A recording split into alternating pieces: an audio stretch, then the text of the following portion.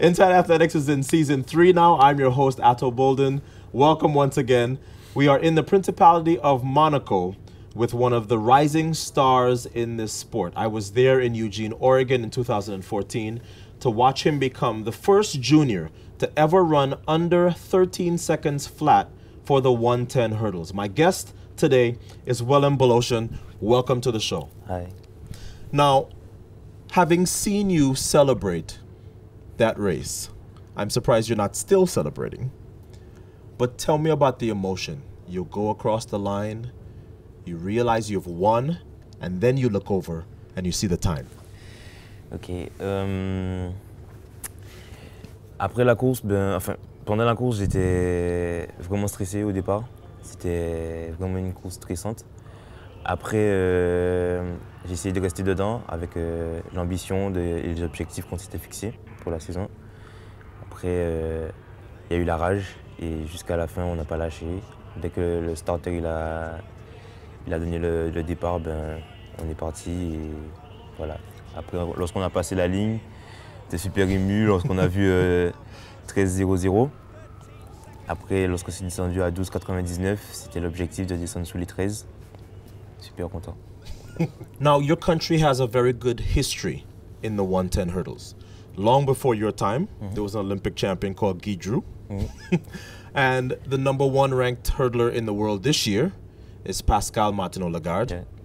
At least I think he will be. Um, and of course, a couple of years ago, you had Laji Ducouré. So, when you were a young athlete, which of these, if any of them, did you look at and say, I want to do that? En France, c'était au début la Doucouré, Uh-huh. lorsqu'il a été champion du monde et. Et après, il y a David Oliver qui était, que je trouvais vraiment impressionnant sur les haies. Et voilà. Et il y a aussi euh, Ortega. So now that you are established, you're the world junior champion, do you feel this pressure now from your country, your teammates, from yourself, that now I've established myself as the number one junior in the world? Now I have to take that and become world champion or Olympic champion. It's been a very long time since France had the Olympic champion in this event. Il y a quand même une pression, faut l'avouer. Mais après, euh, on parle, il y a toujours la notion de plaisir avant tout. Donc euh, c'est le plaisir avant tout. Et après, euh, on se fixe des objectifs. Et si ça vient, ça vient. Et si ça vient pas, ben, ça viendra avec, avec le temps. Quoi. I had to look back um, in your history to realize that you were a Carifta champion as well because you were born and raised in Guadeloupe, like one of my very good friends, Marie-Jo Perec. Yeah. Tell me why there's so many great athletes that come from that island. La Guadeloupe, c'est une terre de champions. okay. Donc, euh, il y a beaucoup d'athlètes euh, qui sortent de là-bas. Parce que je je sais pas pourquoi. Je sais pas comment expliquer ça, mais en tout cas, ce qui paraît, ils disent que la Guadeloupe, c'est l'archipel avec euh, des- beaucoup de champions. Quoi. Now, you were third at the World Junior Championships in 2012. Is there something that, in getting that bronze medal, you learned by being third? And when you came back this year, you said, okay, I'm not going to make the mistake that I made two years ago? Or was it just you were more mature and more ready for the moment? En 2012, ben, j'étais euh, le petit, on va dire, parce qu'ils avaient un an ou deux ans de plus que moi. Donc euh, j'étais euh, le petit, vraiment. Après, ça a servi quand même parce que ça apporte de l'expérience, l'échec. Donc euh, je me suis dit, en 2014, je serai champion du monde. Et c'est à Eugene, donc je serai champion du monde. Et voilà. I spent a lot of time in France during my own career, so I know that France has some of the best fans of athletics. So now that you're world junior champion, your stature in France has has arisen. Has your life changed when you uh, when you visit France now? Un peu quand même, parce que je reçois des lettres euh, des- de certains Français qui me demandent des autographes ou des t-shirts de l'équipe de France signés et tout. Donc euh, je pense que ouais, ça a augmenté ma- mon quota de popularité. quoi.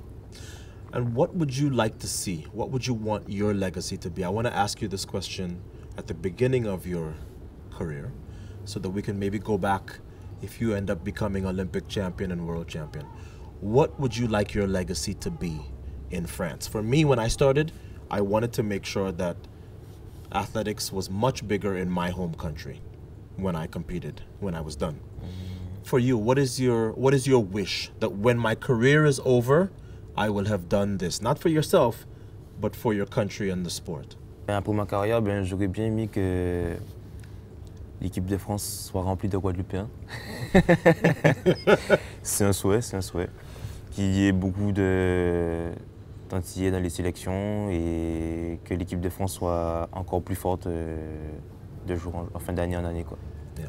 Now, often in the islands, you find that young people are more interested in football. How is it that you ended up in athletics and not maybe playing football? Le football, en fait, ça ne m'intéressait pas du tout. J'aime pas trop les sports collectifs. Et j'ai trouvé que l'athlète, c'était un sport vraiment où tu travailles pour toi, à part le relais qui est vraiment un- un- une, enfin, une course en équipe. Mais hum, l'athlétisme, c'est plutôt un sport individuel, donc euh, j'aime bien euh, travailler pour moi et fêter pour moi. I was the same way. well, listen, I saw you compete in Eugene. You're a fantastic champion. And I hope that very, very soon I'll be calling your name as either world or Olympic champion. Thank, you very much. You're welcome. All right.